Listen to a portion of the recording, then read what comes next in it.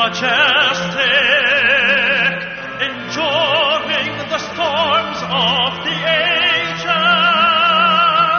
Shrine of our ancient fathers,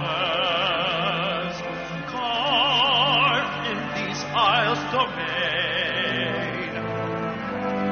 This is the castle, imperial.